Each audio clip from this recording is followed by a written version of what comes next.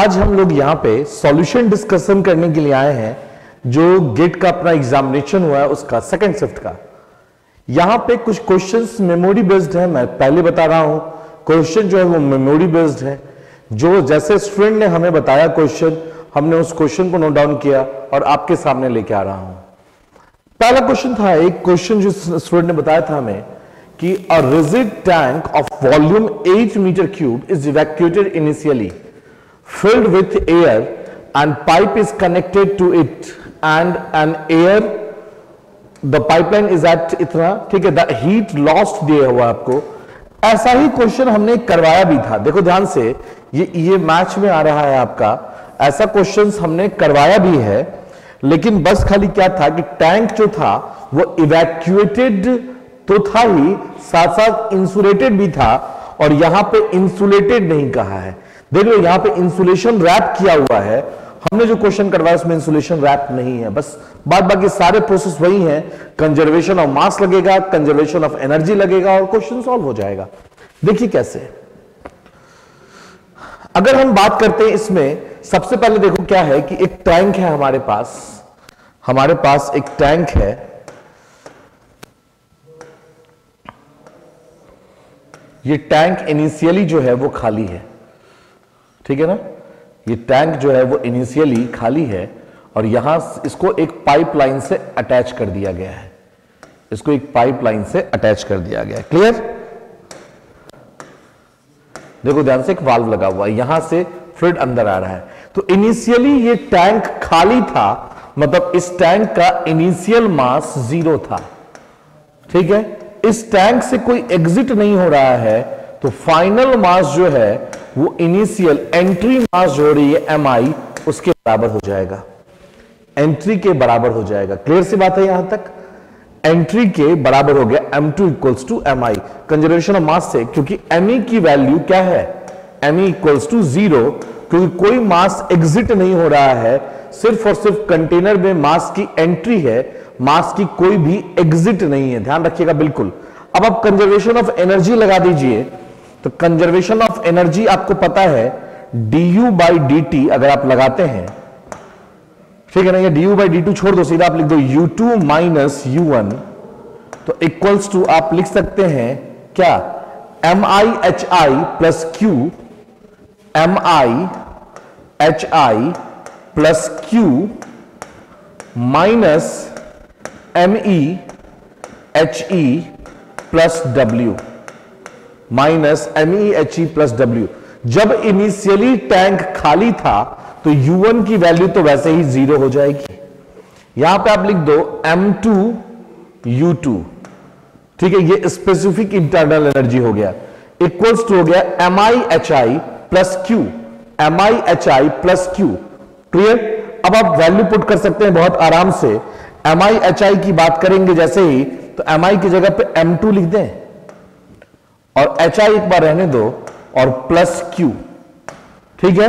अब देखो ध्यान से एम टू है तो M T M two equal लिख सकते PV upon R T two PV upon R T two yes no PV upon R T two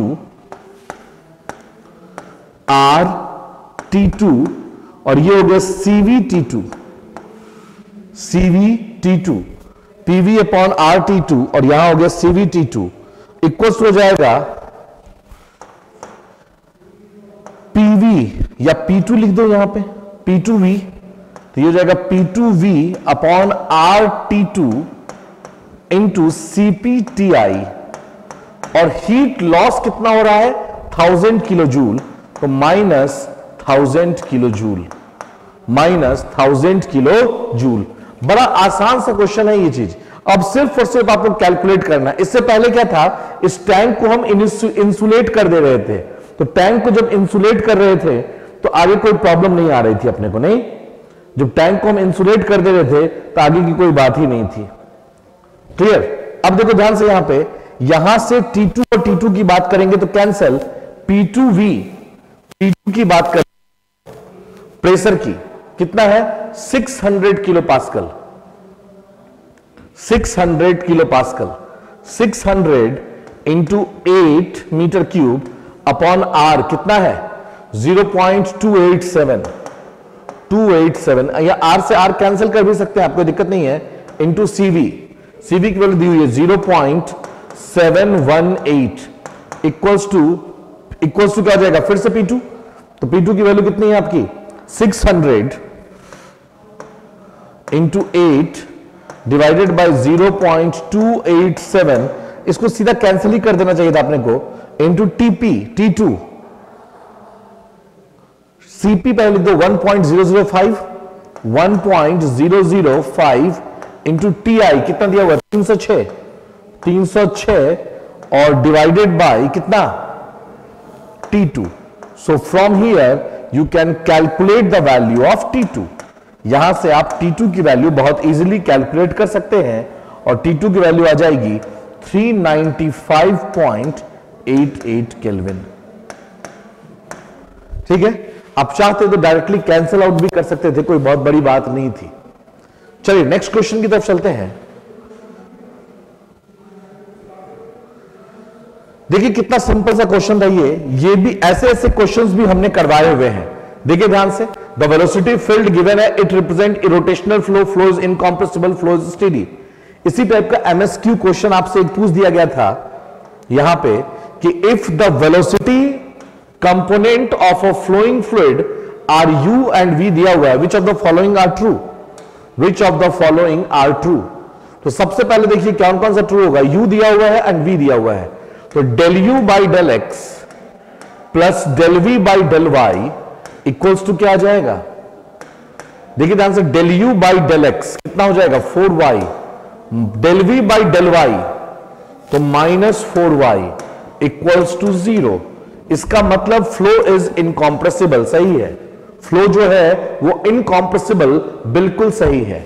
फिर हमने फाइंड आउट कर दिया omega Z half del V by del X minus del U by del Y तो half del V by del X तो del V by del X कितना हो गया? Four X minus del U by del Y कितना हो गया?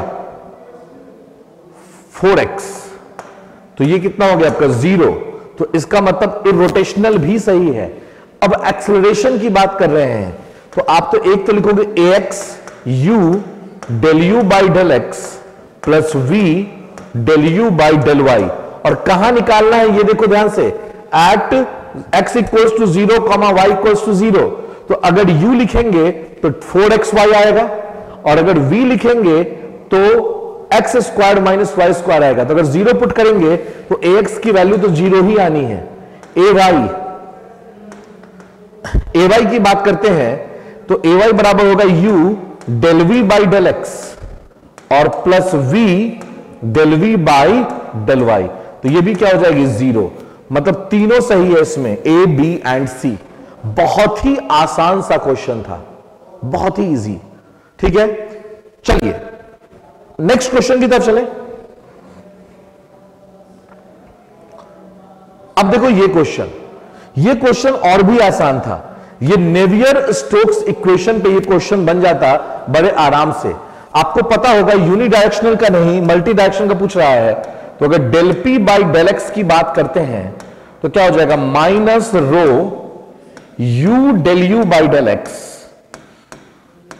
plus V del U by del Y ठीक है ना?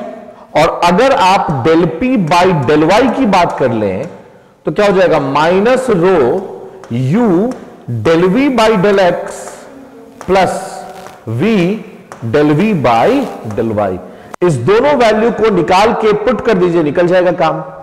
तो अगर इसकी बात करें तो रो की वैल्यू 1.5 यू यू कितनी है? Y square minus X square Y square minus X square into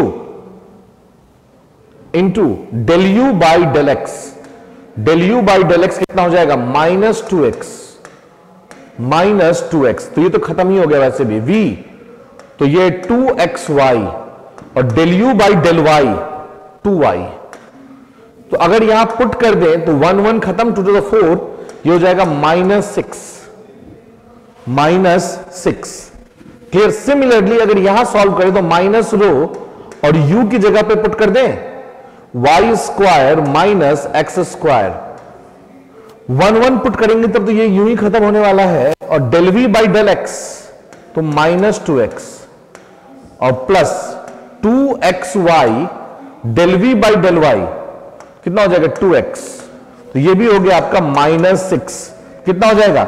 Minus six I minus six J so B option is correct so B option is correct so that is the level of question देखो और tick करते चलो। चलिए next question की तरफ़ बढ़ते हैं। Next question तो और भी आसान था। क्या बोला saturated vapour at 200 degree Celsius condense to saturated liquid at a rate of 150 KG per second condense हो रहा है। On the shell side of the heat exchanger given that जी दे रखा है आपको specific heat of cold fluid 4 kilo joule per KG it enter 100 degree Celsius tube side effectiveness of the heat exchange दे रखा है, then the mass flow rate of the fluid of the tube side is dash kg per second. देखिए, सबसे पहले ऐसा question जब भी आए तो डायग्राम ड्रॉ करने की कोशिश कीजिए। इस क्वेश्चन की हम डायग्राम ड्रॉ करने की कोशिश करते हैं। देखो ध्यान से। कंडेंस हो रहा है तो ये बना दो। हो गया कंडेंस यहाँ पे टेम्परेचर इंक्रीज कर रहा है, ये डायग्राम बना दो। ठीक है? कंफर्म बात। अब अगर हम बात कर रहे हैं किस चीज़ की? ठीक है, यहाँ सारे वैल्यूज़ आपको दिए हुए हैं। ये है आपका 200 डिग्री सेल्सियस। ये है टी एच आई ये है टी एच ई चूँकि कंडेंस हो रहा है तो टेम्परेचर चेंज नहीं होगा। ये है 100 डिग्री सेल्सियस टीसीआई और ये है टीसीई टीसीई जो कि आपको फाइंड आउट करना है, इसके बाद ही आगे का सॉल्व होगा। अब देखो, सबसे पहला चीज़ करना क्या है? अफेक्टिवनेस का फॉर्मुला लिखिए। TCE minus TCI upon T H I T H I minus TCI ऐसा क्यों? तो अफेक्टिवनेस जब लिखते हैं तो M dot CP find out करते हैं। जो मिनिमम होता है, वही वैल्यू लेते हैं ऊपर में। ध्यान रखिएगा। ठीक है? M dot CP find out करते हैं। तो टीसीई अफेक्टिवनेस कितना दिया? 0.9 टीसीई आपको नहीं पता है। टीसीआई 100 अपॉन टीएचआई कितना? 200 सौ minus TCI 100 so from here you can find the value of TCE TC की वैल्यू कितनी आ गई? 190 टीसी की वैल्यू कितनी आ गई? 190 degree Celsius then the mass rate of the fluid of the tube side is dash K G per second mass dot की मास flow rate की बात करता है तो Q इक्वल्स टू क्या होता है? M C dot CPC into TCE minus T C I आपको एमसी डॉट निकालना है। यहाँ से क्यू निकल जाएगा M इंटू एल से। क्यू निकल जाएगा M इंटू एल से। इसको इक्वेट कर दीजिए तो एमसी डॉट फाइंड आउट हो जाएगा यहाँ से। From here you can find the value of MC dot बड़ा आसान सा क्वेश्चन था ये भी हीट एक्सचेंजर का। चलिए नेक्स्ट नेक्स्ट क्वेश्चन देखिए क्या है। In for a VCRS cycle the following data is given enthalpy at exit of evaporator दिया हुआ है। सबसे पहले तो इसका डायग्राम ड्रॉ कर लीजिए। ये है टी और ये है एस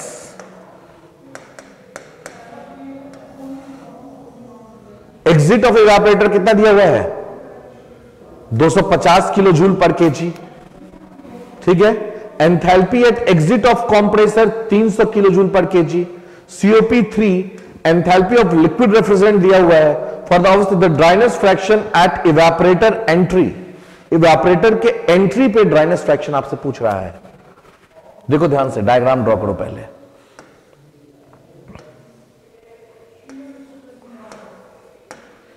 ये है आपका फोर वन टू थ्री यहाँ पे आपको एंथैल्पी दिया हुआ है। देखो ध्यान से टू टू फिफ्टी यहाँ पे आपको एंथैल्पी दिया हुआ कितना? Three hundred. यहाँ पे आपको नहीं दिया हुआ है यहाँ पे नहीं दिया हुआ है। तो आपको पता होगा कि H3 three equals to H होता है और सीओपी इक्वल्स टू हो जाएगा H1 one minus H four by H two minus H one तो थ्री इक्वल्स टू हो गया H1 की वैल्यू कितनी है? 250 H1 की वैल्यू कितनी है? 250 minus H four find out करना है। Two three hundred minus H one two fifty कितना हो जाएगा एच फोर की वैल्यू एच फोर की वैल्यू आ जाएगी हंड्रेड इक्वल्स टू हो गया एच थ्री तो एच फोर इक्वल्स टू हो जाएगा आपका H F plus X into H G minus H F तो देखो ध्यान से एच एफ़ की वैल्यू आपको दी हुई है। कितनी? 50 ये दिया हुआ है 100 plus X into H G two fifty minus fifty.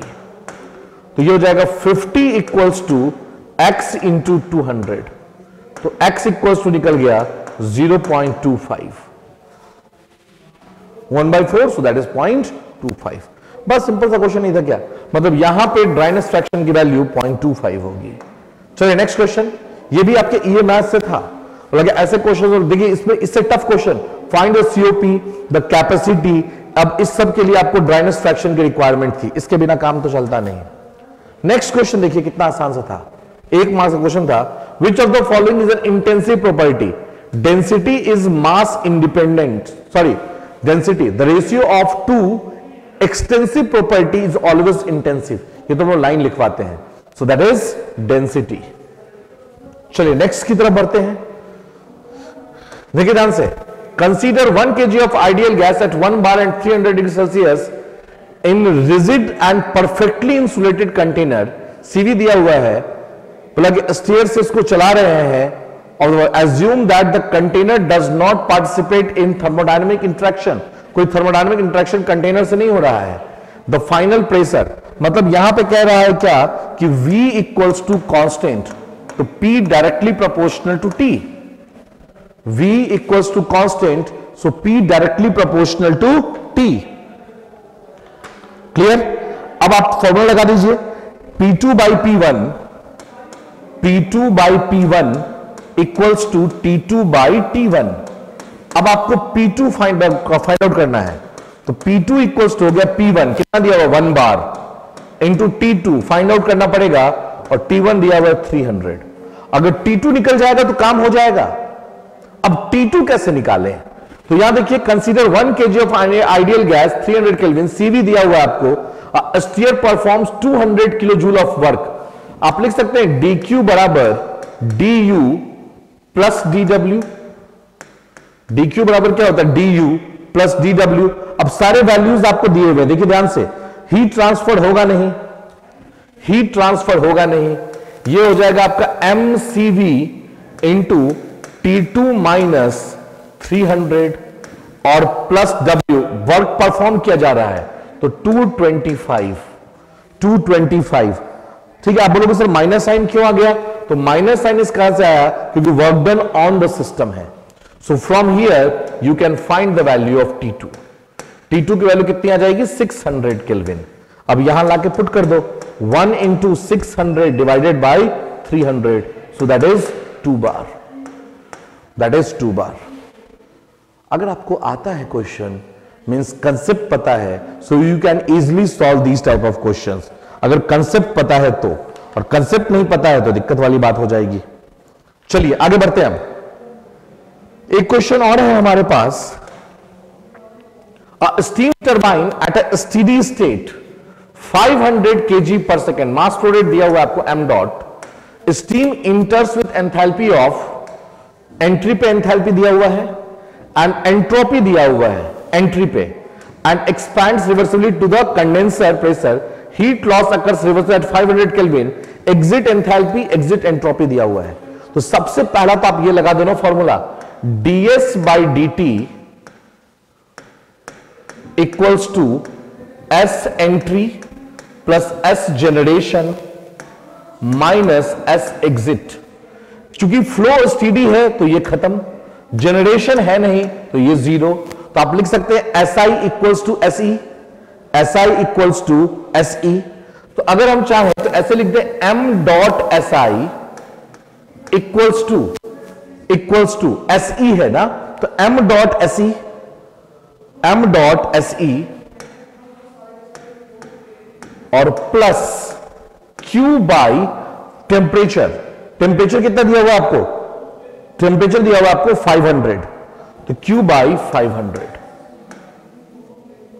तो m डॉट अगर कॉमन ले लें तो ये हो जाएगा S I six point five minus six point three equals to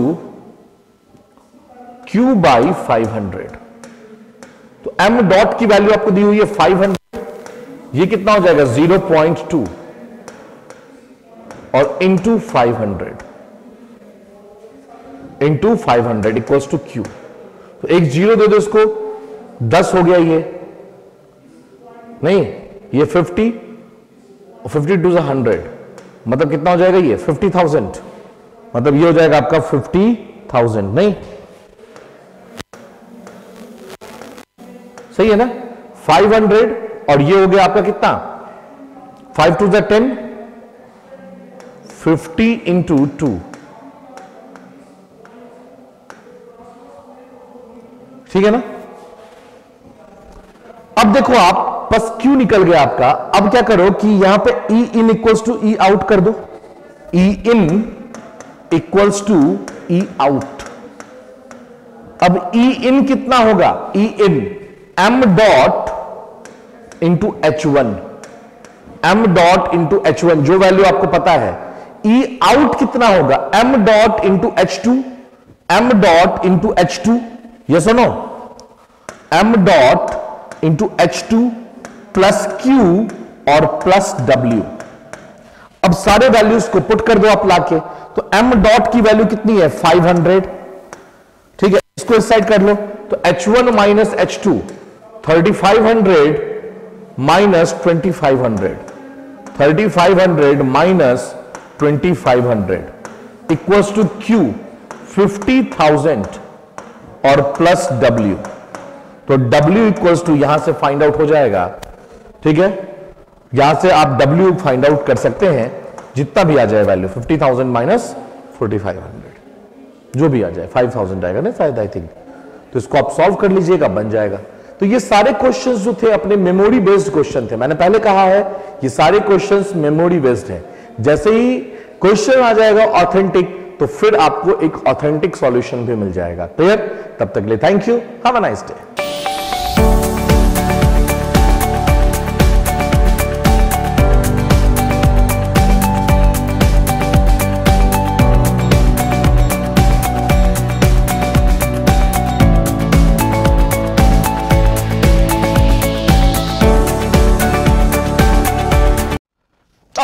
beautiful question from the casting uh, for a cubical casting for a cubical casting of side A cylindrical top riser uh, is used cylindrical top riser use करने को कह रहा है uh, the top of riser is insulated बहुत बढ़िया then possible riser radius क्या होना चाहिए देखो जो अपन क्वेश्चन को एक बार समझते हैं ये मान लीजिए आपका स्प्रू uh, है this is what your runner जो आपको कास्टिंग दे रखा है वो किसका है वो आपका क्यूबिकल कास्टिंग है ना the casting I think but your cubical casting is there. Uh, this is basically what your cubical casting ये आपका क्यूबिकल कास्टिंग दे रखा है।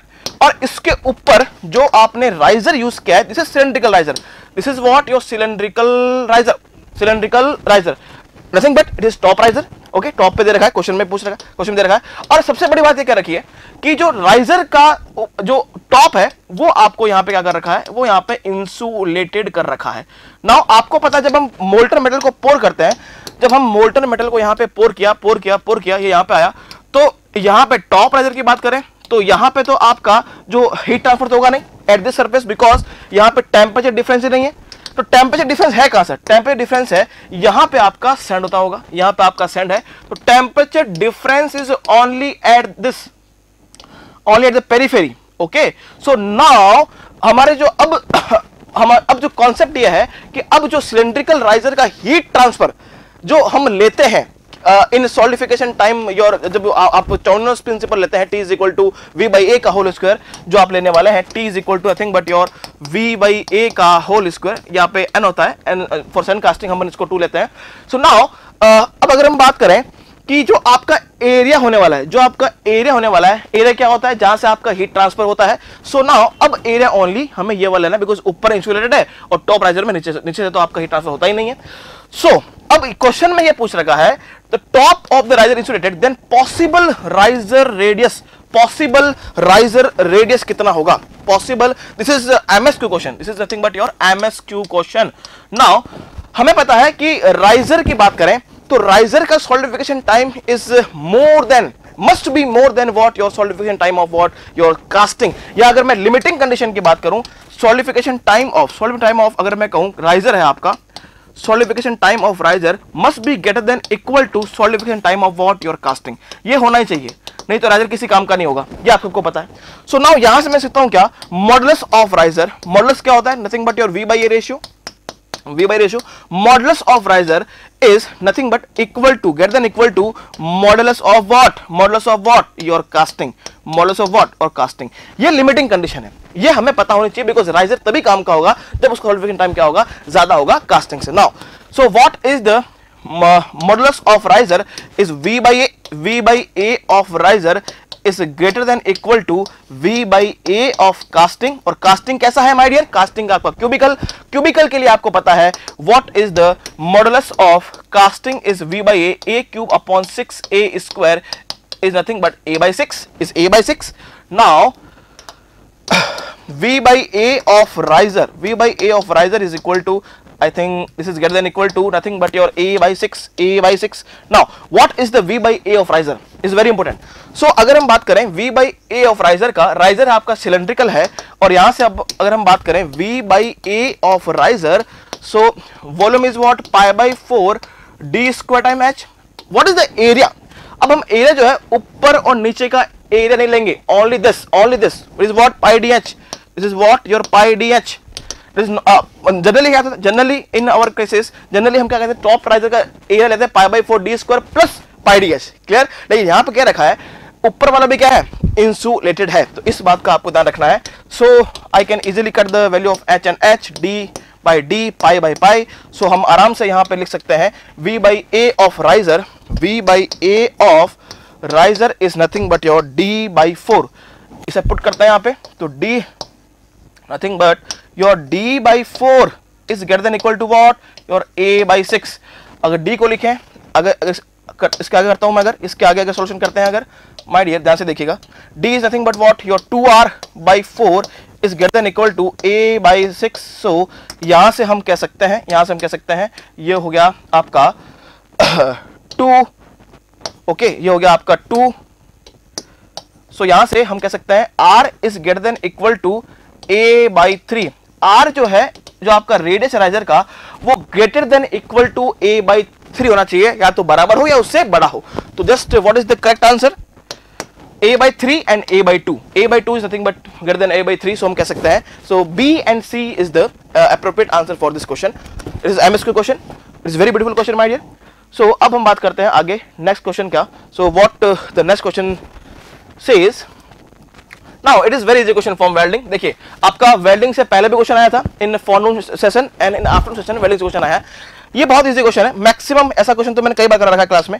मैक्सिमम पावर पूछा है। अगर मैक्सिमम पावर की बात की जाए then open circuit voltage nothing but your V by two हो जाएगा और शॉर्ट सर्किट वोल्टेज भी आपका आई बाई टू हो जाएगा और आपको I is the R gap L is the R gap my dear आपको पावर पूछा है। Power is nothing but V multiply by I अगर मैक्सिमम कंडीशन में बात करें मैक्सिमम पावर कंडीशन की बात करें तो V nothing but what OCV upon two open circuit voltage upon two and short circuit current upon my dear two so power is nothing but your fifty multiply by five hundred okay so now twenty five thousand in आपका kilo watt पूछा है kilo watt ampere में तो ये आपको uh, पता होगा, ये तो हो गया आपके वॉट में हो गया सो so ये हो गया आपका ट्वेंटी फाइव किलो वॉट या किलो वॉट एम्पेयर हम कह सकते हैं। 25 is the correct answer it's very easy question clear so now move to the next question now it is from again metal cutting आपके जो सुबह वाला सेशन था फॉर्नो सेशन उसमें मेटल कटिंग क्वेश्चन आया। और ये आपका आफ्टरनून सेशन है। इसमें भी आपका जो मेटल कटिंग से क्वेश्चन पूछा गया है। So what the question says in orthogonal machining in orthogonal machining thrust force and cutting force cutting force are equal means fc is equal to your ft thrust force and cutting force are equal and orthogonal rake angle. Alpha दे रखा है आपका zero shear angle दे रखा है it is five fifteen degree and width of cut W दे रखा है आपका two m m and the shear strength tau आपका दे रखा है 500 megapascal 500 megapascal and uncut chip thickness दे रखा है। T1 is equal to 0.5 mm then find the cutting force then find the cutting force it's very easy question देखिए, आपको करना क्या है? आपको जस्ट कटिंग फोर्स अगर पूछा है, और अगर मैं यहाँ पे अल्फ़ा अगर ज़ीरो दे रखा है तो आप देख सकते हैं from the merchant circle F C is equal to nothing but your N and your F T nothing but your equal to your friction force clear so ये हम देख सकते हैं।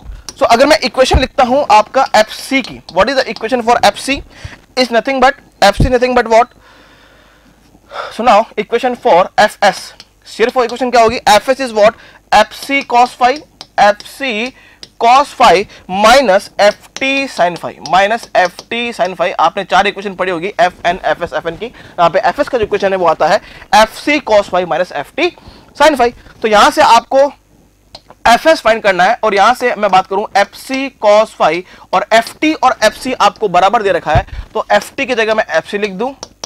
साइन फाइव तो यहाँ से F S is equal to my dear F C cos five minus sine five और five का वैल्यू बड़े ही प्यार के साथ आपको क्वेश्चन में दे रखा है। सो so नाउ अगर मुझे कटिंग फोर्स फाइंड करना है ये वाला चीज़ फाइंड करना है तो मुझे एफ़ एस चाहिए मुझे एफ़ एस चाहिए बिकॉज़ आपको फाइव दे रखा है। सो so, एफएस को फाइंड करने के लिए आपको, जब भी आपको एफएस फाइंड करना होगा क्वेश्चन में शेयर स्ट्रेंथ दे रखा होगा। तो ये भी सेम क्वेश्चन आपको दे रखा शेयर स्ट्रेंथ शेयर क्या होता है my dear F S upon W T one upon sine five W T one upon sine five so what is the value of F S is tau S multiply by W T one upon sine five so what is the value of F S is nothing but your ये हो गया five hundred this is what your 500 multiply by w is a 2 t1 is 0.5 upon sine phi का value दे रखा है question में 15 so what is the value of shear force shear force का value कितना आ रहा है for calculation from calculation the shear force value is given uh, 9 1931 1931.85 1931.85 newton so now put करेंगे वैल्यू को आराम से आंसर निकालेंगे so what is the value of F S F S is nothing but your F S is nothing but F C so F S का value आपने निकाल चुके हो। सो so, हम देख सकते हैं what is the value of F S is nothing but one nine three one point eight five is equal to F C cos five का वैल्यू आपको पता है। It is nothing but your 15 minus sine 15 और so यहाँ से हम equation को put करके you can easily find the value of F C so what is the value of F C is 2732.04 newton so this is question for metal cutting जो कि आपके फोरनून session में पूछा गया था और आफ्टरनून दोनों में ही पूछा गया है. It's very formula based question so come to the next question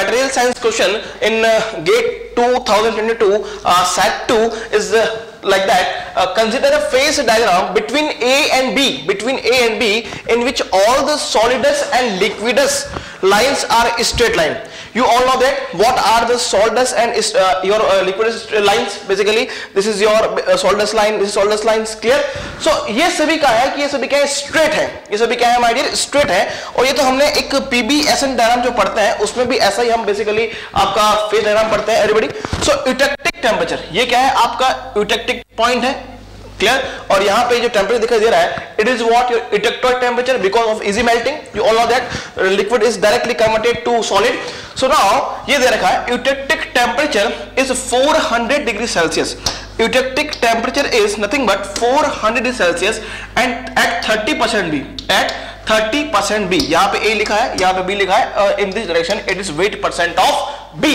so now what the question ask The pure A has melting temperature of 700 degrees Celsius, concentration of 15% B poured at 800 degree Celsius what is the solidification range देखिए dear ये basically casting का question है casting कह सकता है casting और metal question को मतलब शामिल किया है। इसमें बोल रहा है कि जो कास्टिंग हम करते हैं, उसमें जो पोरिंग टेम्परेचर है, वो है आपका 800 degree Celsius it is not melting point temperature ये आपको पता है because in casting pouring temperature is much more than your melting point temperature this because of degree of superheat so now ये आ गया आपका 800 डिग्री सेल्सियस और यहाँ हम देखेंगे, अगर मैं एक लाइन यहाँ पे बनाता हूँ जस्ट लाइक दैट यहाँ पे मैंने वापस आपके सामने एक डायग्राम बना बना दिया है।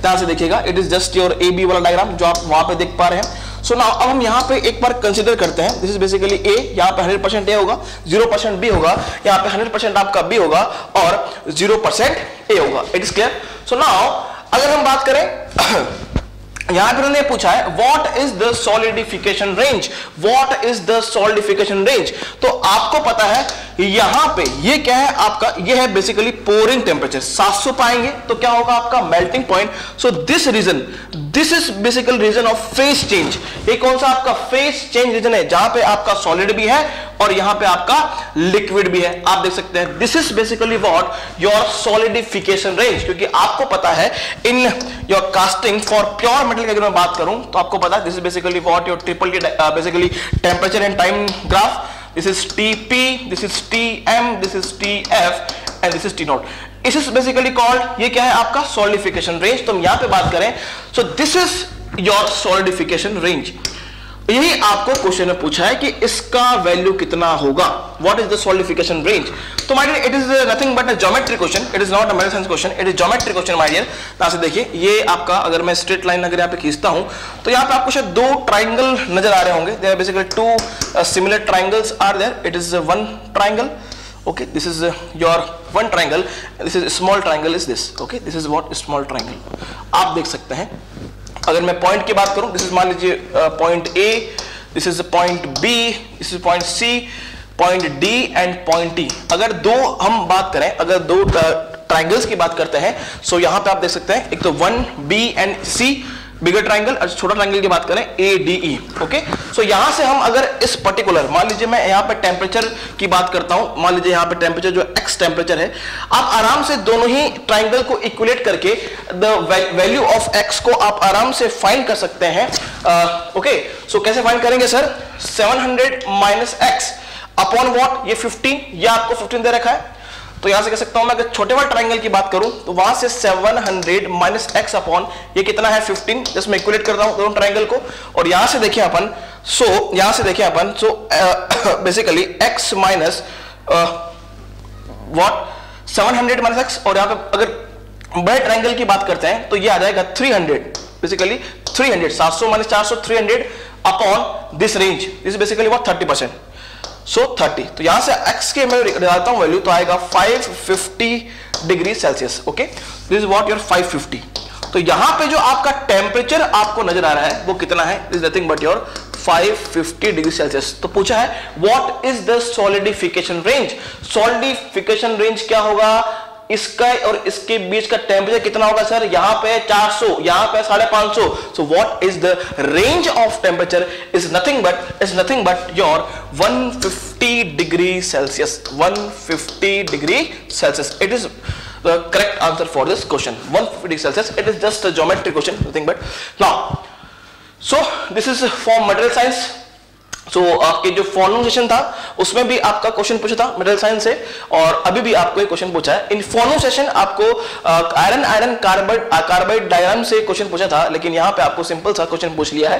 Both question are simple okay this is basically geometry based question now so come to the next one come to the next one this is very quite easy question काफ़ी बार एग्ज़ाम में आ चुका है गेट एग्ज़ाम में previous year भी. The uh, pitch दे रखा है आपको चार एम और इंक्लूड एंगल आपको दे रखा है degree then best wire best wire size best wire size will be what diameter कितना होगा? अगर डायमीटर की बात करें तो this basically what P by 2 sec alpha by 2 ना P by 2 sec alpha by 2 it is uh, easy formula for that P by two sec by two काफ़ी सारे हमने न्यूमिकल्स लगाए इसके ऊपर, और कहीं ना कहीं प्रीवियस ईयर बात चुका है तो what is P is four by two four by two sec alpha की वैल्यू 60 है तो 60 by two so we find the best wire diameter size is nothing but your 2.30 2.30 mm is the correct answer. 2.309 आ रहा है तो आप 2.31 भी इसे लिख सकते हैं। so, इसमें कोई समस्या नहीं है। So it is very easy question from the metrology in second shift now sorry from yes from metrology itself now again this is very easy question ask from the metrology in second shift ये बोल रखा है it's very easy question my dear sharp size 24 minus 0.04 minus 0.07 and hole का size दे रखा है 25 plus 0.02 minus 0.00 आपको match करना है list one and list two now simple method लगाते हैं अपन. This is what your basic line size अब मान लेते हैं. दिस इज़ बेस लाइन 25 इसे ले लेते हैं. अगर मैं यहाँ पे होल की बात करता हूँ this is basically what 25 five M now अगर मैं यहाँ पे होल की बात करूँ होल का क्या है? 25.02 is a whole basis system because lower limit of all is what zero basically 25 so lower derivation is what zero for whole so that it is called as uh, your whole basis system so now this is uh, nothing but your whole मान लीजिए ये आपका whole है okay this is uh, your whole so whole का जो upper limit है this is uh, your whole now hole का जो अपर लिमिट दे रखा है आपको 25.02 25.02 एंड लोअर कितना है? आपका 25 ही है। नाउ अगर मैं शाफ्ट की बात करता हूँ अगर मैं शाफ्ट की बात करूँ 25.02 अपर लिमिट है और sorry uh, 25 minus point zero point zero four upper limit है 25 minus zero point zero seven is lower limit है। तो यहाँ पे अगर मैं बात करता हूँ मान लीजिए ये आपका शाफ्ट है मान लीजिए दिस इज़ वन बी और शाफ्ट अगर ये शाफ्ट है तो मैं यहाँ पे बड़े ही आसानी से लिख सकता हूँ, सर। ये कितना होगा? ये कितना होगा? मैं कह सकता हूँ दिस इज़ 24.96 24.96 दिस इज़ 24.93 तो यहाँ से हम बात करें। So this is what this gap is what 0.04 this is 0.04 and what is the tolerance for shaft shaft के लिए टॉलरेंस कितना आ गया? What is the tolerance for shaft is nothing but 0.03 0.03 and what is the tolerance for your hole what is tolerance for hole is uh, given that 0.02 ना आप देख सकते हैं 0.02 so पूछा है what is the allowances what is the allowances what is the allowances in आप देख सकते हैं it is clearance fit it is what clearance fit because this is hole and this is shaft आप देख सकते हैं is bigger than shaft then it is called a clearance fit and in clearance fit allowances is what maximum clearance is basically what the allowances sorry minimum clearance basically what your allowances ये क्या होगा आपका allowances होगा is basically what your allowances in interference fit maximum interference and in your uh, fit your minimum basically clearance is what your allowances हम से समझ सकते हैं। So now this is your allowances this is what your allowances so what is the value what is the value of allowances my dear क्या value है allowances का? आप देख सकते हैं। It is point zero four it is point zero four so now P का हो गया आपका थ्री पी का हो गया three then Q Q is what maximum clearance what is the maximum clearance what is the maximum clearance this is the maximum clearance this is the maximum clearance so what is the value of maximum clearance सबसे बड़ा whole ऐसा तो छोटी soft ये क्या होता है आपका? मैक्सिमम होता है clearance so what is the maximum clearance so Q का हो गया. कितना है maximum clearance is equal to point zero two plus point zero three it is nothing but nothing but point zero nine so Q का हो गया point zero nine Q का हो गया आपका वन लास्ट बचता है आपका R maximum material limit of hole अगर मैक्सिमम मेटेरियल की बात करूँ होल में सबसे जो छोटा होल होगा, वही क्या होगा? आपका मैक्सिमम मेटेरियल कंडीशन होगी ओके सबसे बड़ा होल होगा तो मिनिमम मेटेरियल कंडीशन होगी, इसका उल्टा शाफ्ट में होता है। सो आपको होल पूछा है होल के लिए मैक्सिमम मेटेरियल कंडीशन क्या होगा? सबसे छोटा होल ओके सबसे छोटा होल कौन सा है? 25 यहाँ पे बात करें तो सबसे जो स्मॉलेस्ट होल है, उसका साइज़ क्या है? पर 25 mm 25 mm. सो r का हो गया आपका 4 so correct answer is p का 3 q का 1 एंड r का 4 it is one mark question it is one mark question from metrology it is very very easy it is very very easy question asked in GATE so now coming to the next question. Which uh, machining process which machining process involve which machining process involves the melting of metal it is very easy question कौन सा machining process जो है वो आपका melting कर रहा है basically it is non traditional machining methods all are like EBM uh, LBM ECM and ADM जहाँ पे भी thermal energy लग रही है they all are basically what contribution of melting of material so हम कह सकते हैं ईबीएम में मेल्टिंग होगा इट्स वेरी ट्रू एलबीएम में मेल्टिंग होगा इट्स वेरी ट्रू ईडीएम में मेल्टिंग होगा due to spark due to work your spark but ECM में आपका मेल्टिंग नहीं होता है ध्यान से देखिएगा. इलेक्ट्रोकेमिकल uh, मशीनिंग में क्या होता है आपका due to Faraday's law mass removal होता है क्लियर बट मेल्टिंग यहाँ पे नहीं होता है वो आपको पता है जो mass dissolve dissolving of mass is there in ECM in ECM है ना in in in the presence of what electrolyte है ना uh, so what is the correct answer it is uh, MSQ question it is uh, nothing but MSQ question so what is the correct answer A B and D is the correct answer your LBM EDM and L, uh, EBM electron beam machining is a very correct answer for this question it is a kind of MSQ question now come to the next one it is uh, again very easy question which one of the following cannot cannot please uh, attention on it cannot पूछा है ना? Cannot impart the linear motion कौन सा linear motion इंपार्ट नहीं करेगा? So so आपको पता है, आपका बॉल स्क्रू भी लीनियर मोशन इंपार्ट करता है लीड स्क्रू भी लीनियर इंपार्ट करता है लीनियर मोटर भी इंपार्ट करता है। तो कैनॉट पूछा है तो what is the correct answer is chain and sprocket is the correct answer मतलब ये जो आपका सिस्टम है, वो लीनियर मोशन इंपार्ट नहीं करता है। It is very easy question so now coming to the next question in a horizontal slab milling, it is from the milling. है आपको depth of cut depth of cut is nothing but capital D by two diameter by two और F का value दे रखा है force पर टुथ force पर टुथ आपको दे रखा है। It is nothing but F is F is F is K T C W K T C W and depth of cut is nothing but diameter का आधा आपको दे रखा है। Okay so F is what force per tooth ना D is the cutter diameter D का value आपको दे रखा है. It is two hundred M M so मैं कह सकता हूँ क्या? What is depth of cut is hundred M M it is hundred M M okay and K is the specific cutting force जो कि आपको दे रखा है ten newton per M M square width of cut आपको given है. It is nothing but hundred M M cutter RPM and दे रखा है आपको हंड्रेड नंबर ऑफ़ टिथ आपको दे रखा है फोर फ़ीड आपको दे रखा है। इस वैल्यू ऑफ़ एफ़ एफ़ आपको दे रखा है। It is nothing but thousand M M per minute thousand M M per minute और बोला है मैक्सिमम कटिंग फोर्स क्या होगा? मैक्सिमम कटिंग फोर्स आपका क्या होगा? जहाँ जो आपका टीसी है, वो क्या है? अनकट चिप थिकनेस है। तो firstly we have to find the uncut chip thickness in slab milling so what is the formula for that so uncut chip thickness is equal to what 2f upon nz number of teeth under root small D upon capital D small D upon capital D so यहाँ से हम अगर values uh, को रखते हैं so two times capital of क्या है? What is table speed is nothing but your दे रखा है क्वेश्चन में इट इज़ नथिंग बट आपको thousand M M per minute दे रखा है it is nothing but the value of F multiply by N it is clear so upon upon N का जो value है F two multiply by thousand upon N hundred दे रखा है आपको N hundred number of teeth given in question is four is four ना under root small D upon capital D कितना होगा? Small D upon capital D is nothing but one by two nothing but one by two because hundred upon two hundred is equal to what one by two so यहाँ से अगर हम uncut chip thickness जो है मैं chip thickness निकालने की बात करूँ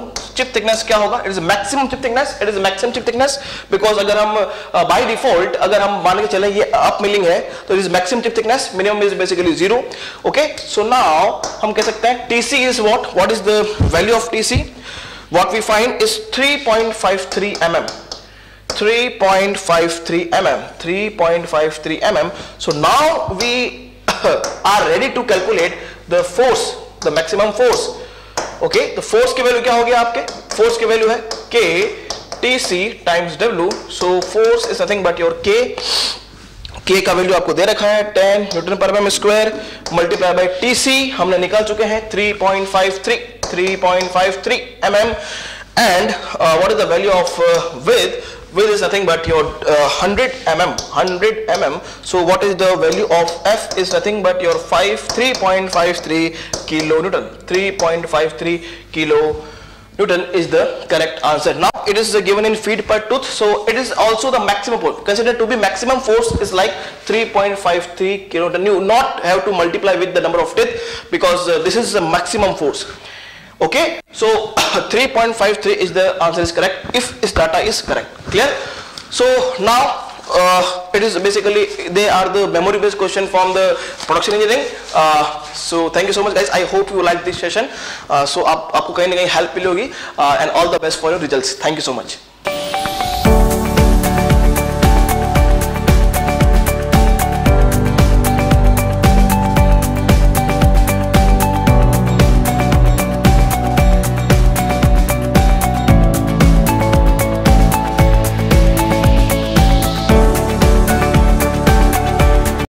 Friends welcome at engineers academy YouTube channel मैं गिट का पेपर हो चुका है और कहीं ना कहीं यदि पेपर का एनालिसिस किया जाए तो मैं मैकेनिकल की बात करूँगा तो पेपर वन के कंपेयर में यदि पेपर टू को मैं बात करता हूँ, उसमें भी स्ट्रेंथ ऑफ़ मटेरियल की बात की जाएगी।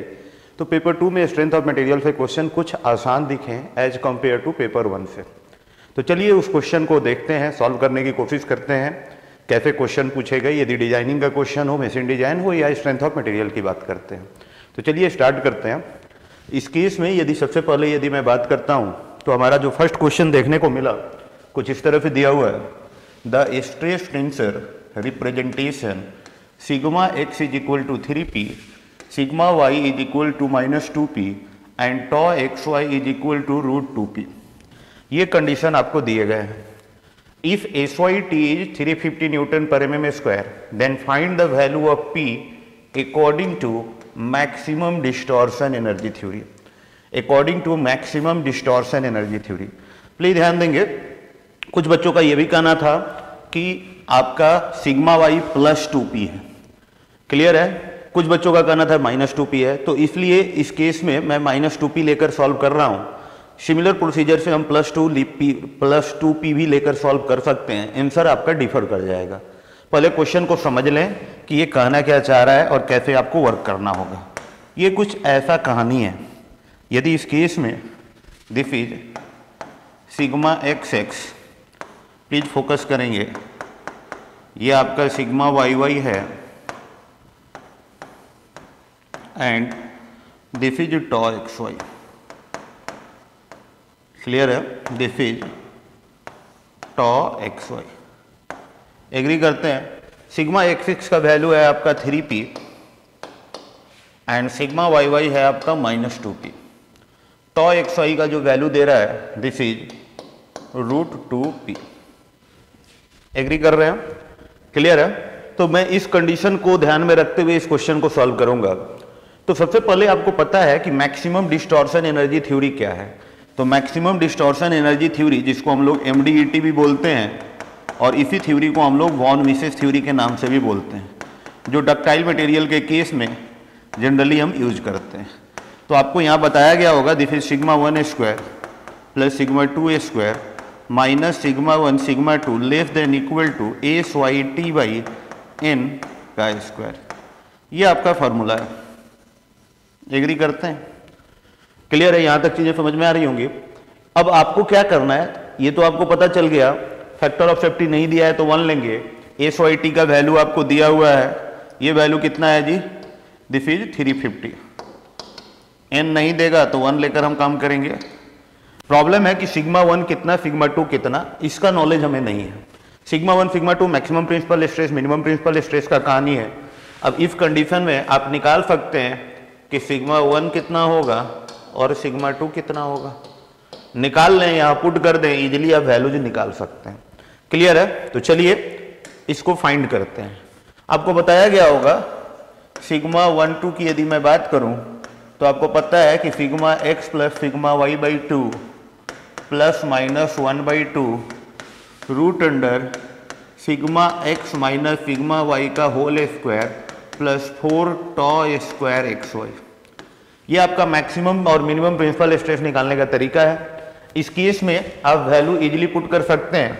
आपको सिग्मा एक्स दिया गया है। और सिग्मा एक्स का वैल्यू कितना है जी?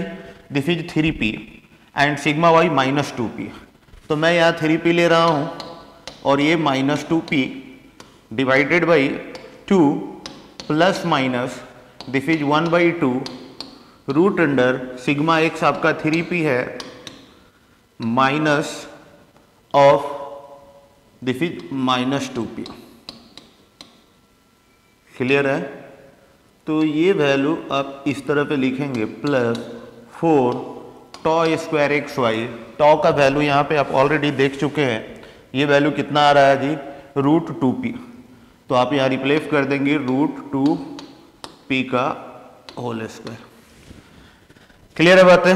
तो यहाँ पे आप इजीली सॉल्व कर सकते हैं। थ्री पी से टू पी गया, ये आपका P by two plus minus one by two this is three और a five twenty five P square plus four two जा एट पी एग्री करते होंगे? ये टू हो जाएगा एट पी स्क्वायर ये आपका सिग्मा वन टू है। इसको सॉल्व कर लेते हैं। सिग्मा वन आ जाएगा और सिग्मा आपके टू आ जाएँगे। जब इसको आप सॉल्व करेंगे तो पी के टर्म में ये वैल्यू आपका कितना आना चाहिए?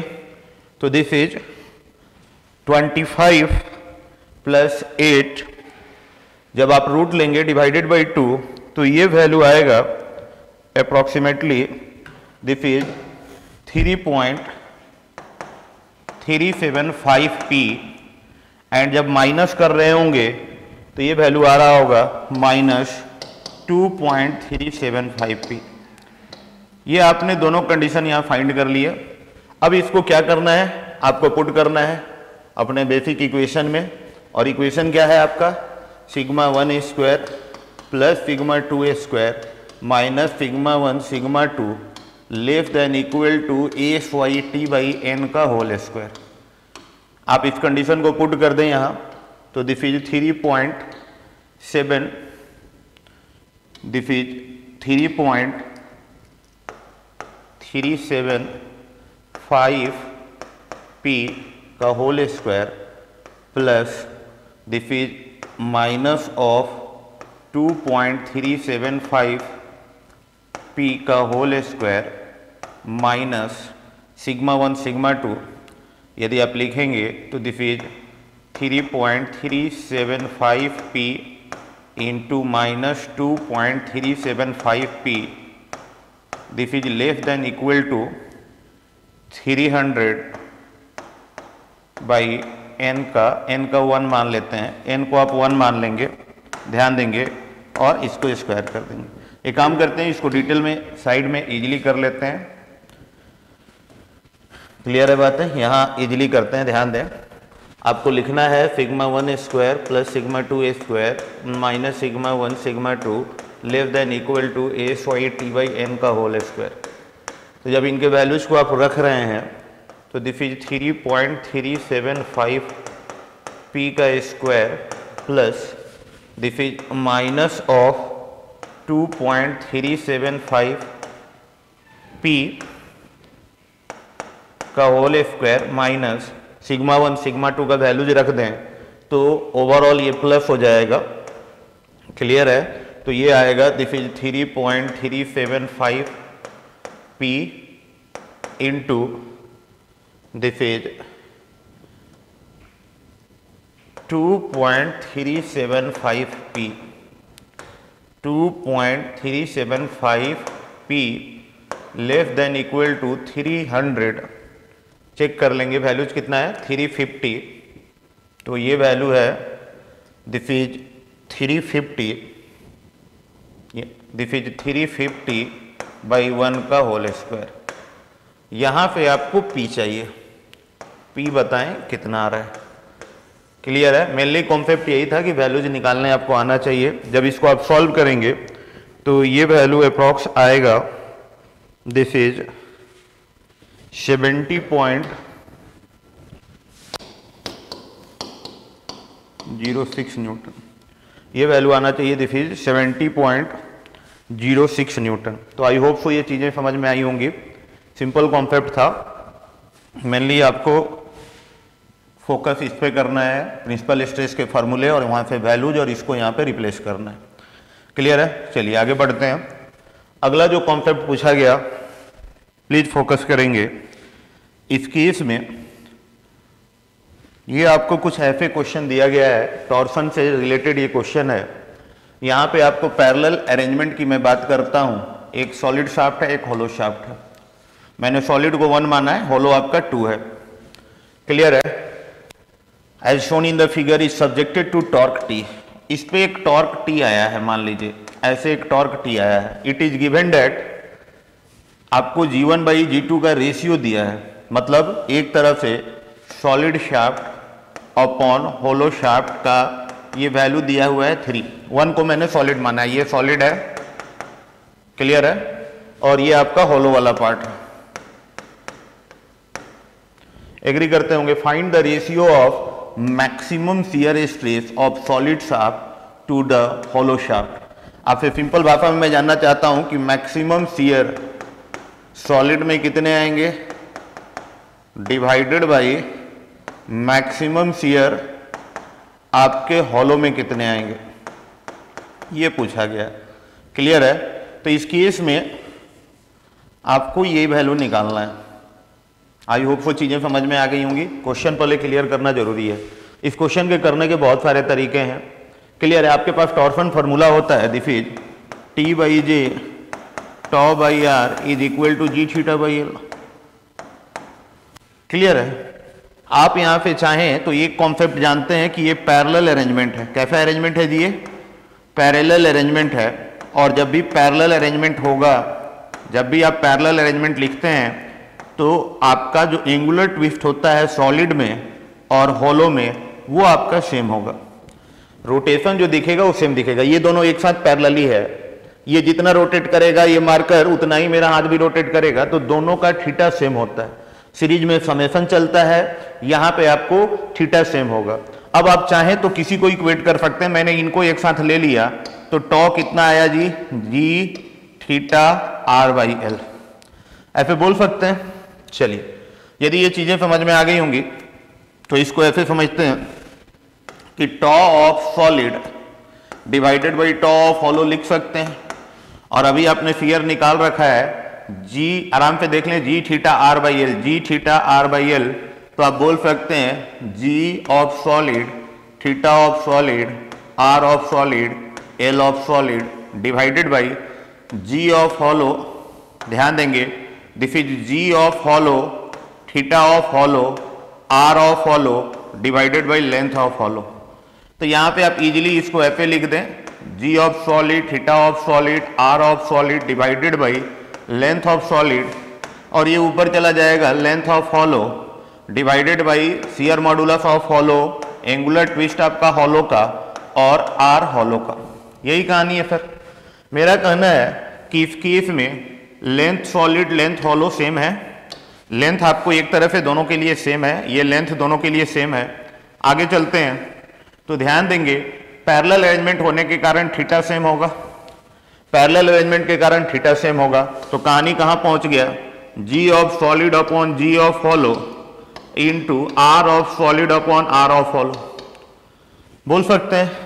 तो इस कंडीशन में आप इजीली रिप्लेस कर सकते हैं। जी ऑफ़ सॉलिड और जी ऑफ़ फॉलो का रेशियो दिया हुआ है थ्री तो इसको आप यहाँ थ्री रख दो। अब आर ऑफ़ सॉलिड और आर ऑफ़ फॉलो देखो। यदि मैं यहाँ आर की बात करता हूँ प्लीज़ फोकस करेंगे। तो इसका डायमीटर आर लो चाहे डायमीटर के सेंस में लो, ये डी है और ये टू है। तो सॉलिड का डायमीटर डी है और होलो का क्या है जी? टू का। तो यदि हम डायमीटर के सेंस में ही लिख दें तो सॉलिड का डी है और होलो का कितना है? टू है। तो रेडियस के ट्रेंस में भी चेंज कर सकते हैं तो ये वैल्यू आ गया थ्री बाई टू और अप्रोक्सीमेटली दिस इज़ 1.5 क्या आ गया जी? 1.5 तो एक तो तरीका ये था सॉल्व करने का। जो सबसे सिंपल तरीका था।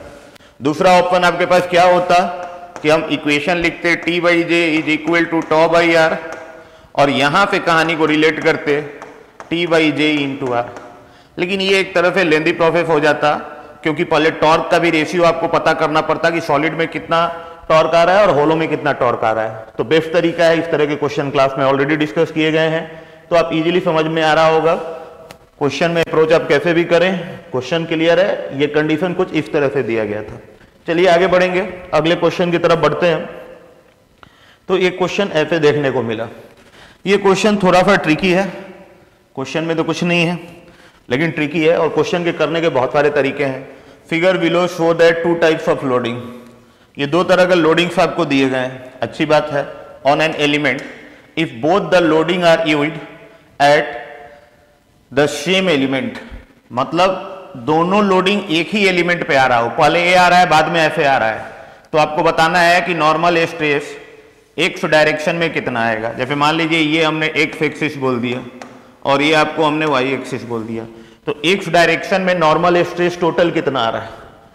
बात क्वेश्चन को समझेंगे। एक बॉडी पे एक बार लोडिंग एफ़ ए दिया गया, एक बार एफ़ ए लोडिंग दिया गया। बॉडी सेम है।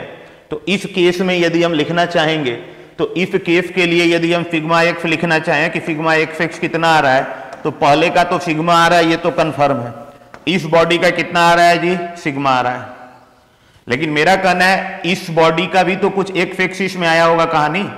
इसका भी तो एक एक्सिस में आया होगा। वो मेरे को जानना है कि ये कितना आ रहा है। एग्री कर रहे होंगे? क्वेश्चन समझ में आ रहा है? अब ये कैसे जाने? तो इसके दो तरीके हैं। या तो इसको ट्रांसफॉर्मेशन से हम तोड़ देंगे, या अदरवाइज़ अदरवाइज़ आपके पास ऑप्शन है कि इसका आप मोहर सर्कल बना लें। तो इस केस में यदि मोहर सर्कल बनाएँगे, ध्यान दीजिएगा तो ये कोऑर्डिनेट मैं लिख दूँगा यहाँ पे। This is sigma comma zero और यहाँ का कोऑर्डिनेट ज़ीरो कॉमा ज़ीरो तो इस केस में यदि मोहर सर्कल बनेगा तो मोहर सर्कल एक रफ स्केच में कैसे दिखेगा? तो मोहर सर्कल आपको कुछ इस तरह से दिखने वाला है। यदि एक रफ स्केच में मोहर सर्कल मैं आपको दिखाऊँ तो मोहर सर्कल कुछ इस तरह से दिखना चाहिए। दिस इज़ लाइक दिस यदि मैं बात करता हूँ तो मोहर सर्कल आपको कुछ इस तरह से दिखेगा। क्लियर है? तो ये आपका पॉइंट है कुछ इस तरह से। ये आपका सिग्मा है, ये आपका माइनस सिग्मा है, ये आपका टॉ है, और ये आपका माइनस टॉ एग्री करते हैं? ये आपका सेंटर है। यदि मैं कोऑर्डिनेट्स की बात करता हूँ तो ये आपका सिग्मा कॉमा ज़ीरो होगा। और ये आपका ज़ीरो कोमा ज़ीरो होगा। और ये सेंटर है। क्लियर है बात? है यहाँ तक तो कोई प्रॉब्लम नहीं होना चाहिए। इस केस का हमने मोहर सर्कल ड्रॉ कर लिया लेकिन मैं आपसे ये जानना चाहता हूँ कि ये यहाँ पे 45 डिग्री गया है। ध्यान देंगे, इस प्लेन पे ये 45 डिग्री गया है। तो यदि इस कहानी को दिखाना चाहोगे मोहर सर्कल में तो वो कहाँ दिखाएँगे आप? तो आपको पता है कि बाहर में जो 45 डिग्री है, मोहर सर्कल में डबल एंगल पे प्लॉट होगा। तो इस प्लेन पे यदि मैं दिखाना चाहूँ फोकस करेंगे तो ये मेरा यदि प्लेन है, मान लीजिए ये मेरा ये प्लेन है इस पे मैं दिखाना चाहूँगा तो वो कहाँ दिखेगा जी? उसमें 45 है, यहाँ 45 है तो मोहर सर्कल में डबल चले जाना है उसी सेंस में तो ये कहानी यहाँ पहुँच जाएगा। मतलब जो चीज़ें वहाँ आपको दिख रही थी 45 वो एंगल यहाँ क्या बन गया? 90 बन गया। अब ये कहानी चाहिए यहाँ का जो नॉर्मल का कहानी है, ये मेरे को चाहिए। क्लियर है? यहाँ का नॉर्मल कितना होता है? जो सेंटर का कोऑर्डिनेट होता है। सेंटर का कोऑर्डिनेट कितना है जी? Sigma by two comma zero तो ये नॉर्मल कितना हो जाएगा? सिग्मा बाई टू और ये तो आपका रेडियस वाला पार्ट है। एग्री करते हैं? फिर से मैं रिपीट कर रहा हूँ, चीज़ों को समझे। इस प्लेन पे आपको 45 डिग्री जाना था। क्योंकि एक एक्सिस तो इधर ही है ना सर तो मेरे को इसी में तो जानना है। यहीं का तो वैल्यू जानना है ना कि ये वैल्यू कितना आएगा। तो हमने कुछ नहीं किया, यहाँ 45 बोल रहा है तो इस केस में उसी प्लेन पे 90 चले गए। 90 गए तो ये वाला जो प्लेन मिला, इस पे नॉर्मल कितना? इस पे आपका नॉर्मल कितना आ रहा है, इस पे फोकस करना है। तो ये नॉर्मल कितना होता है? सेंटर का कोऑर्डिनेट ही तो होता है। यही तो नॉर्मल है। यही तो नॉर्मल है जो इधर दिखेगा। तो कितना दिख रहा है? सिग्मा बाई टू कितना दिख रहा है जी? सिग्मा बाई टू तो यहाँ यदि टोटल वैल्यू लिखेंगे तो sigma plus sigma by two ये सिग्मा इसका वाला सिग्मा है, और इस सिग्मा का कॉन्सेप्ट एक एक्सिस में आएगा तो सिग्मा बाई टू तो यहाँ पे आप इजीली लिख सकते हैं दिस इज़ कितना आ जाएगा? This is two three sigma by two यानी 1.5 सिग्मा क्लियर है बातें? 1.5 सिग्मा तो इस तरह से इस क्वेश्चन को हम लोग सॉल्व कर सकते हैं सिंपल क्वेश्चन था। बस आपको थोड़ा सा ओरिएंटेशन और इन चीज़ों को समझना होगा। तो चलिए thank you very much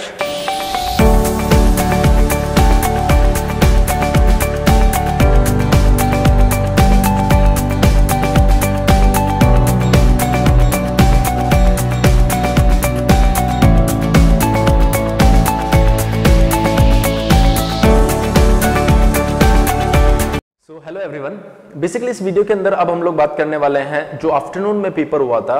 उसमें थ्योरी ऑफ़ मशीन मैकेनिक्स और इंडस्ट्रियल में कौन कौन से क्वेश्चंस पूछे गए थे और उनके सॉल्यूशंस कैसे होने चाहिए। तो स्टार्ट करते हैं फ्रॉम थ्योरी ऑफ़ मशीन अगर मैं बात करूँ बेटा थ्योरी ऑफ़ मशीन से, अगर मैं यहाँ पर डिस्कस करूँ थ्योरी ऑफ़ मशीन का जो पहला क्वेश्चन है, वो बेसिकली हमसे पूछा गया है बैलेंसिंग से। देखिए क्या है क्वेश्चन थोड़ा सा मैं आपको बताता हूँ यहाँ पर। ये बोल रहा है एक बैलेंसिंग मास है। वन के है। ठीक है, थोड़ा सा और भी इंफॉर्मेशन इसके पास बारे में गिवन है। Two masses of one K मतलब ये भी वन के है और ये भी वन के है। At a radius of one centimetre मतलब इसके लिए भी वन सेंटीमीटर और इसके लिए भी one centimetre is placed same placed in same plane at angle of 90 degree ये एंगल जो है बेटा, ये 90 डिग्री होने वाला है as shown in the figure below the balancing mass required for static balancing is root two के ये गिवन आपके पास में।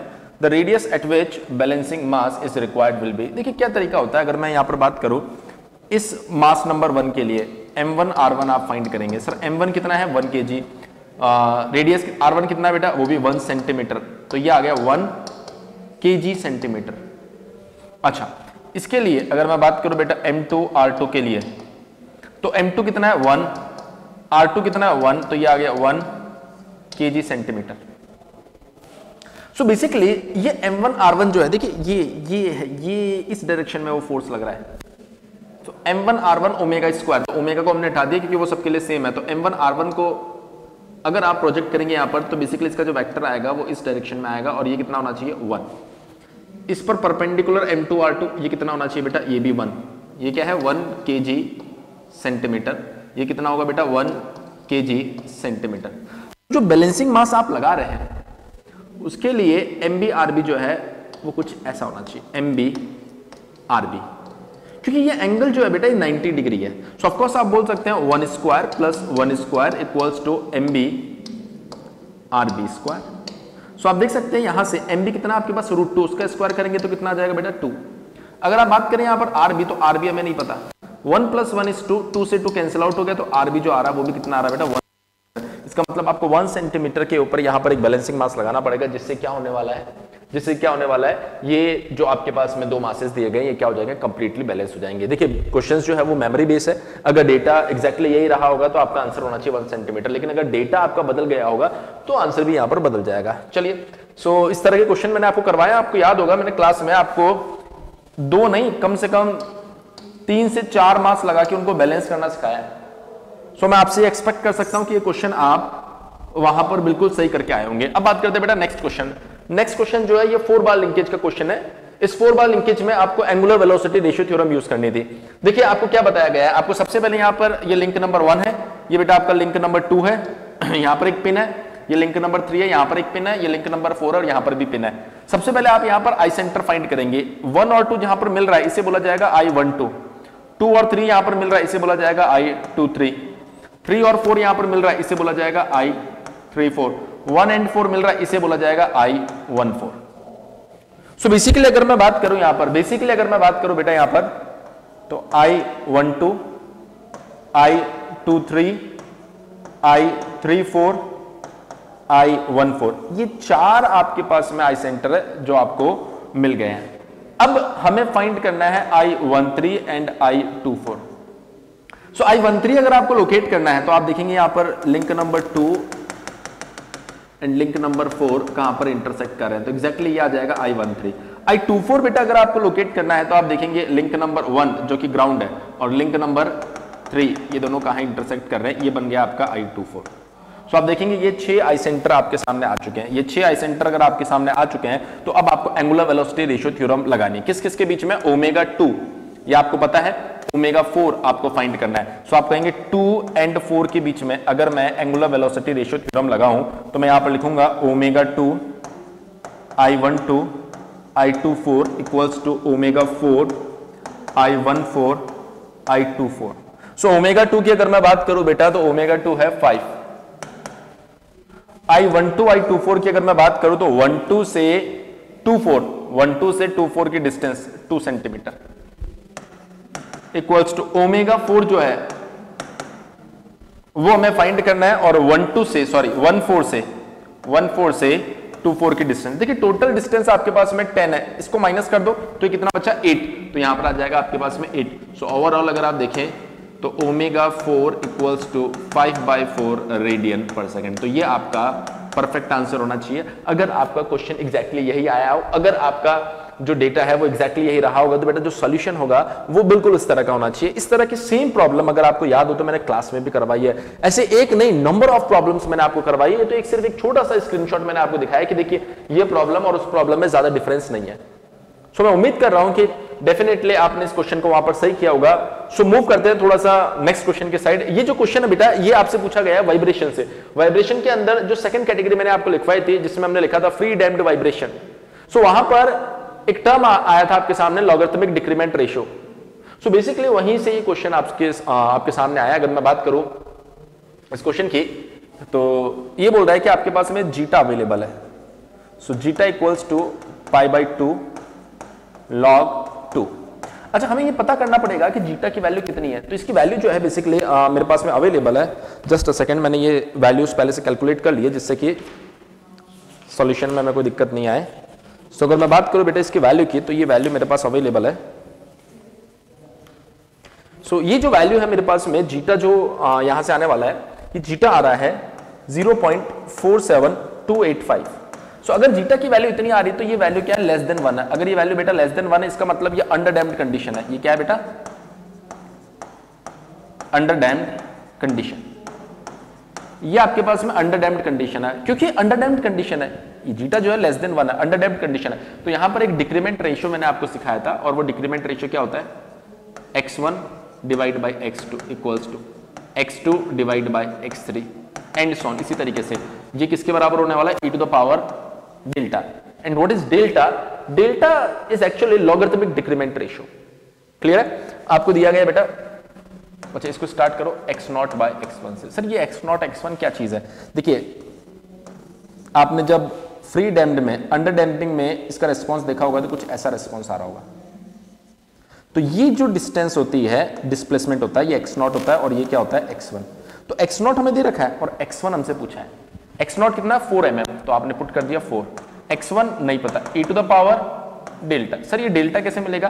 बेटा डेल्टा का फॉर्मूला आप सभी लोग जानते हो। डेल्टा इक्वल्स टू ये क्या होता है, आपके पास में two pi zeta divided by root over one minus zeta square जब जीटा को आप यहाँ पुट करोगे तो जो डेल्टा की वैल्यू हमारे पास में आ रही है बेटा, ये वैल्यू आ रही है three point three seven one ये डेटा हमारे पास में स्टूडेंट्स ने प्रोवाइड करवाया, उसी को हम लोग यहाँ पर पुट कर रहे हैं। सो डेल्टा आ रहा है three point three seven one जब इस डेल्टा को हम यहाँ पुट कर देते हैं तो ये बन जाएगा four by x one equals to e to the power three point three seven one और जब यहाँ से बेटा मैं एक्स वन फाइंड करूँगा तो ये वैल्यू जो आ रही है, ये आ रही है बेटा zero point one three seven three m m so according to s जो डेटा हमें मिला है, उसके हिसाब से आपका जो आंसर होना चाहिए, वो आंसर होना चाहिए 0.1373 देखिए, अगर एग्ज़ाम का डेटा बदल जाएगा, अगर एग्ज़ाम की लैंग्वेज बदल जाएगी एग्ज़ाम में जो क्वेश्चन आए सो मे भी हो सकता है आपका आंसर जो है वो यहाँ से डिफर कर जाए। बट द पॉइंट इज़ कि जो इन्फॉर्मेशन हमें मिली है, अगर वो इन्फॉर्मेशन सही है, अगर वो क्वेश्चन सही है तो इसका मतलब ये हुआ कि आपका आंसर जो है, आपका सॉल्यूशन जो है वो बिल्कुल ऐसा होना चाहिए।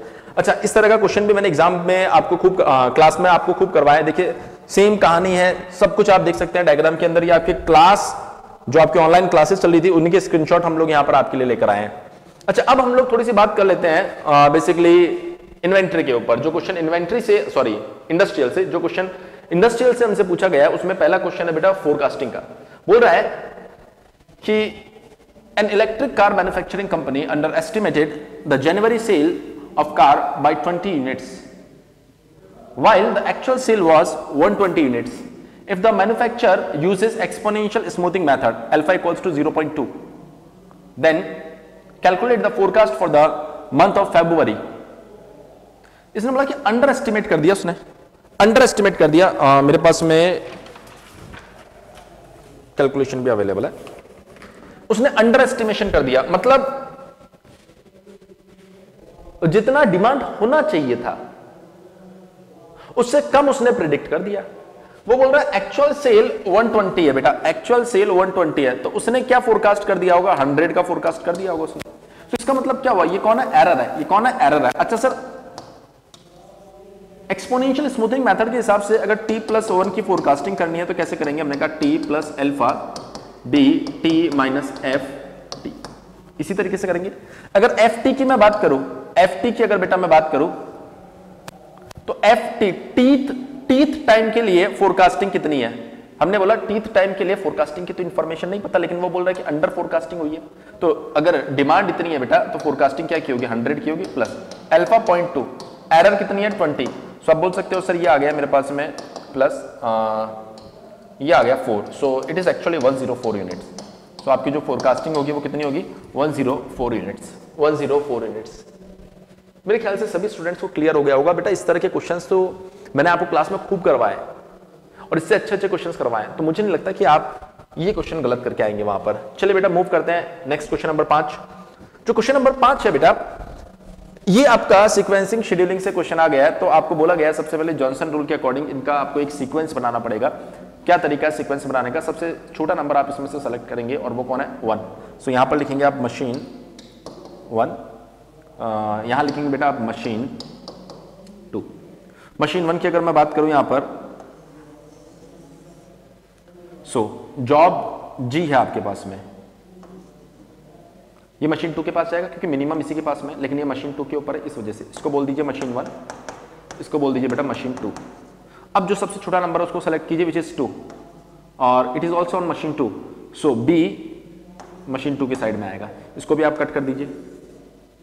अब अगर हम लोग बात करें यहाँ पर सबसे छोटा नंबर जो मुझे दिखाई दे रहा है, वो है सी और ये सी मशीन वन पे आएगा। इसको भी कट कर दीजिए। अब जो सबसे छोटा नंबर है बेटा फोर एंड फोर सो ये तो आ जाएगा मशीन वन की साइड और ये चला जाएगा मशीन टू की साइड तो बेटा ये भी कैंसिल हो जाएगा और ये भी कैंसिल हो जाएगा। अब जो सबसे छोटा नंबर है वो है ई e. अगेन इस साइड में और ये बन गया आपके पास में कंप्लीट सीक्वेंस तो जो सीक्वेंस जो सीक्वेंस आपके पास में होना चाहिए और सेम सीक्वेंस बेटा मेरे पास में भी अवेलेबल है। जो डेटा हमारे पास में आया है, अगर उससे मैं इसको कंपेयर करूँ तो जो सीक्वेंस है बेटा वो आपका होना चाहिए c d e a c d e a f b g perfect ये सीक्वेंस होना चाहिए अगर इंफॉर्मेशन जो हमारे पास में आई है वो बिल्कुल सही है। तो अब हमें क्या करना होता है? थोड़ा सा इसको अरेंज कर लेते हैं। हमें एक इन एंड आउट वाली टेबल यहाँ पर क्रिएट करनी पड़ेगी।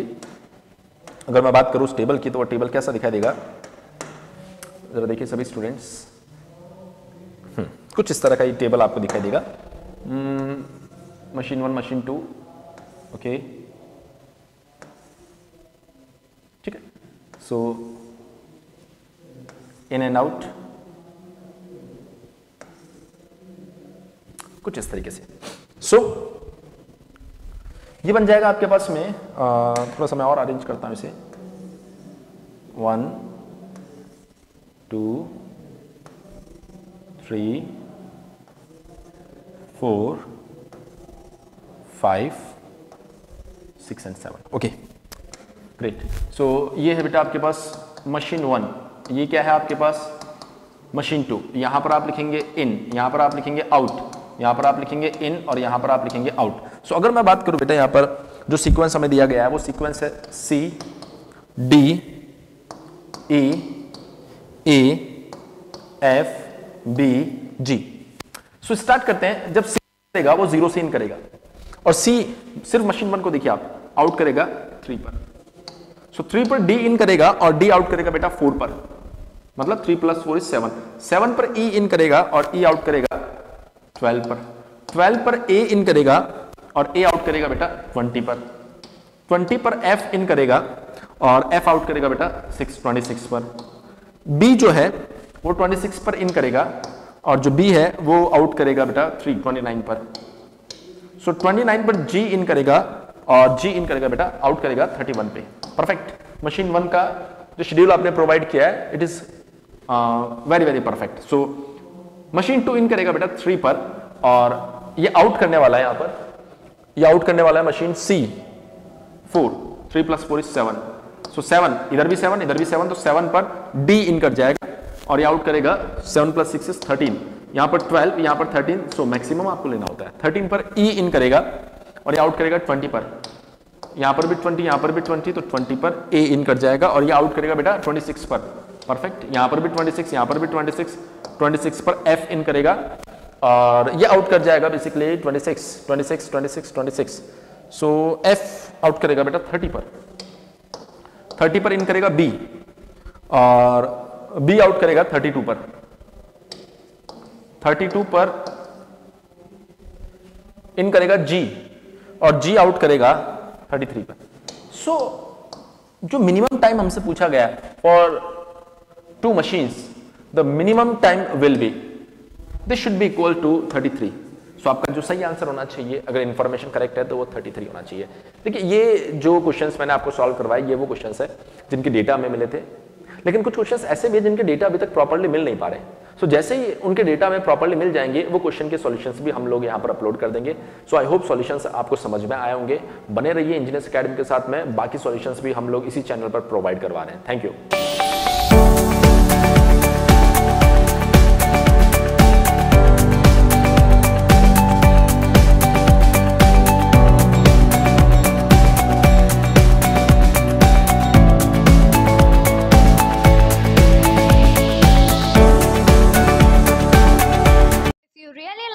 video, please hit the like button and share the video, subscribe to our YouTube channel and press the bell icon for the latest updates. Thank you.